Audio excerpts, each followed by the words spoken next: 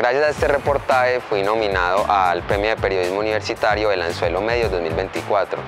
El reportaje de la lucha por el Cerro Quitasol trata sobre mm, este importante ecosistema que está presente en el Valle de Aburrá, más precisamente en el municipio de Bello, y que se ha afectado pues, por varias problemáticas y dinámicas como el loteo ilegal, la quema, la pérdida de biodiversidad, pero lo que se resalta sobre todo en el reportaje es cómo ciertos colectivos, organizaciones y hasta personas individualmente pues justamente luchan por la conservación de, ese cerro, por sus razones ambientales, patrimoniales, eh, naturales, etc. Yo leí este tema para el reportaje, pues también por algo personal y es que viví un tiempo en el municipio de Bello y siempre pues eran muy constantes las quemas. Eh, siempre me interesó el saber por qué, porque solo esa montaña se quemaba y no otras, y por qué esa tanto, y pues ya haciendo la investigación, que por cierto también disfruté mucho, eh, me di cuenta pues de las dinámicas y de todas las influencias que hay alrededor del cerro y me gustó mucho pues como conectar con algo que siempre había visto desde niño, pero que no, no, me había interesado en entender.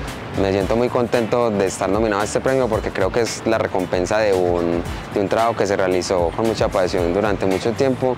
y también porque era justamente lo que quería realizar el reportaje, que se diera a conocer la problemática, que se visibilizara y pudiera llegar a más personas para poder entenderlo, pero también tomar acciones frente a ello.